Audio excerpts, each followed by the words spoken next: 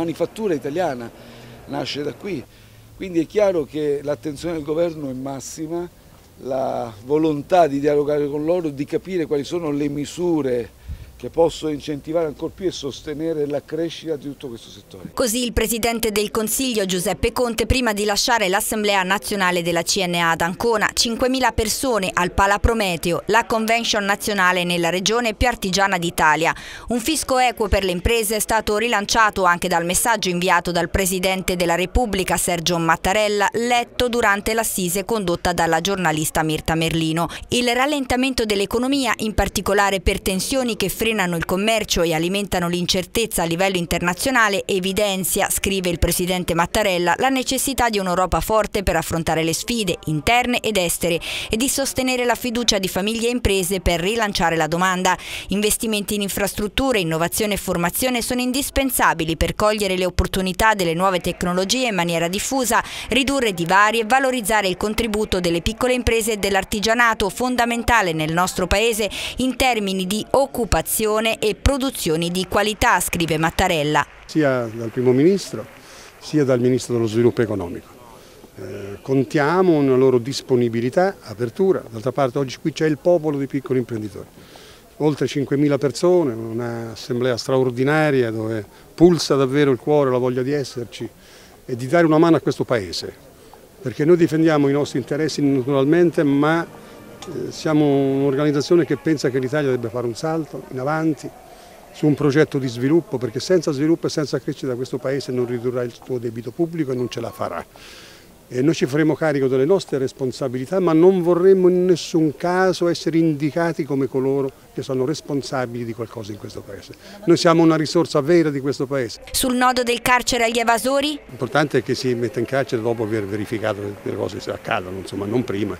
Non il carcere preventivo, ecco, insomma, in Italia abbiamo qualche disturbo di questa natura e poi il carcere è sempre il carcere, adesso, eh, per carità noi siamo favorevoli a tutte le battaglie contro l'evasione, ma contro l'evasione si accerta, si fa, si fa la battaglia, sono tanti modi di fare la battaglia e forse l'ultimo modo è quello di prendersi con l'idraulico e il falegname, quello che è diventato quasi una leggenda. Il messaggio più forte è che mm, il settore dell'artigianato e della piccola impresa sia messo al centro dell'attenzione della politica economica del governo. Questo è il messaggio che vogliamo dare. Ovviamente questo si porta dietro tutte le problematiche che già conosciamo, dal fisco alla burocrazia ad alcuni aspetti che riguardano la legge di bilancio, sul quale ci sono luci ed ombre, alcune perplessità, altre attenzioni. Insomma, speriamo in un dialogo costruttivo. La perplessità più grande riguarda in questo momento la non definizione di quella che era, chiamavamo la flat tax, cioè quella riguardante le imprese da fino a 65.000 euro e anche quelle da 60.100 dove pare scompaia. Quindi su questo vorremmo delle chiarezze. E ce ne sono altre che riguardano la continuità rispetto per esempio a impresa 4.0 noi vorremmo fosse un po' più strutturata negli anni perché altrimenti le imprese non riescono a programmare i loro investimenti. Rispetto al pagamento con il POS dalla CNA il messaggio è forte, basta accanimenti, persecuzioni e discredito contro i piccoli. La diffusione della moneta elettronica deve essere accompagnata dal drastico abbattimento dei costi e delle commissioni, da meccanismi incentivanti e non da obblighi. Noi eh, non siamo assolutamente contrari a una modernizzazione del Paese che passa attraverso l'utilizzo della moneta elettronica. Certamente non, non, deve essere penalizzata, quindi qui i problemi sono da un lato delle incentivazioni ma dall'altra anche che le banche comincino a fare il lavoro delle banche, quindi se aumentano devono diminuire i prezzi. Il dialogo c'è con il governo anticipato anche da diversi incontri prima dell'assemblea della CNA con il Premier Conte e il Ministro Patuanelli. Eh, spesso si parla degli artigiani come dei piccoli, in realtà sono quelli che rendono grande il nostro paese, eh, rappresentano la colonna portante della nostra economia, un po' lo scheletro della, del, della struttura economica del nostro paese. Eh, sappiamo benissimo le difficoltà che, che incontrano e che, che hanno incontrato negli ultimi dieci anni, io credo che eh, la prima cosa che, che abbiamo fatto, che non si sottolinea secondo me molto, è aver scongiurato l'aumento dell'IVA e questo ha un valore importante anche, anche, per questa categoria, anzi forse soprattutto per questa categoria che avrebbe di fatto visto eh, decrescere ulteriormente la domanda interna.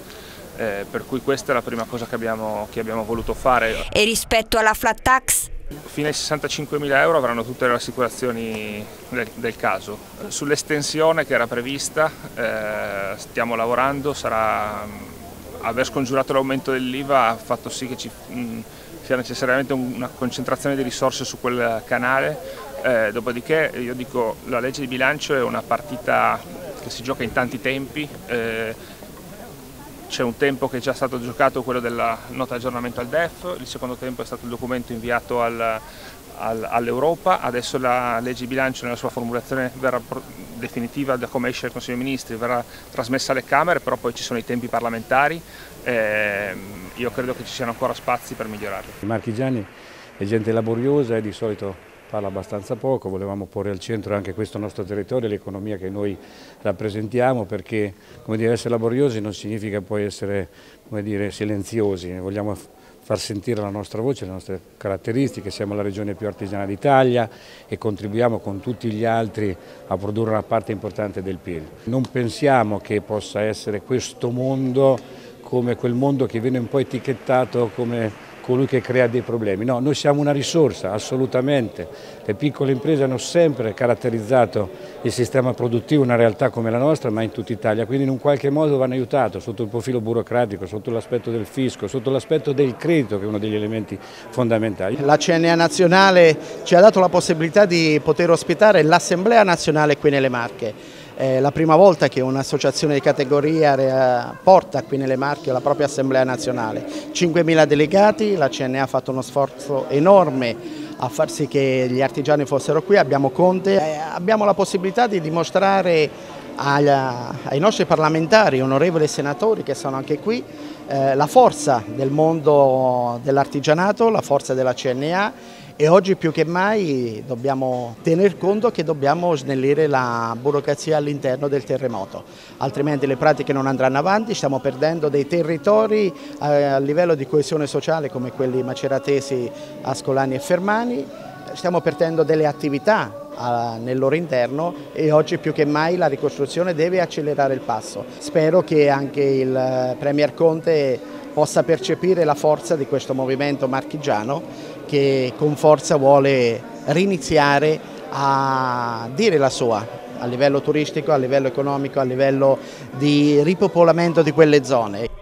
Nel suo intervento il presidente della Regione Marche, Luca Ceriscioli, ha spiegato come le Marche siano fondate sulla piccola impresa e come quattro anni fa sia stata fatta proprio la scelta di non far pagare le tasse per tre anni a chi apre una nuova impresa. Dall'Assemblea di Ancona più volte è stata richiamata la necessità di un'attenzione forte sulla ricostruzione anche economica del centro Italia proprio nel giorno del terzo anniversario della scossa del 26 ottobre che ha colpito duramente specie le Marche e dopo pochi giorni la pubblicazione in gazzetta del decreto sisma di semplificazione e di maggior coinvolgimento delle aziende del territorio.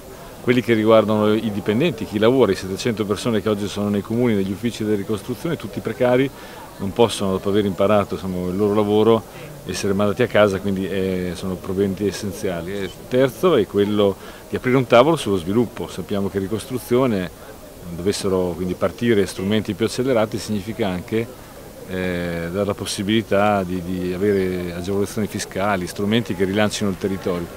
I fondi europei che abbiamo utilizzato in questi mesi, parliamo di oltre 100 milioni di euro, hanno dimostrato che c'è una grande vitalità, quindi c'è capacità di mettersi in moto, di investire, c'è voglia di investire e di crescere, con ulteriori strumenti potremo accompagnare ancora meglio questa crescita. La riconversione del decreto per noi è il momento fondamentale perché dopo i primi siamo, contenuti vorremmo vedere tutti gli altri.